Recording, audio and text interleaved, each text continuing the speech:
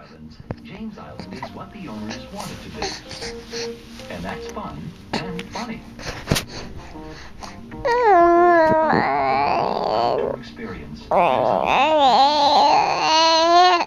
This may be the only one in the world with a queen size bed. But that's part of the fun of owning your own.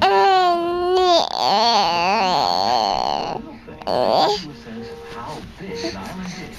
It comes with owning one. Do you have a private island with an airstrip?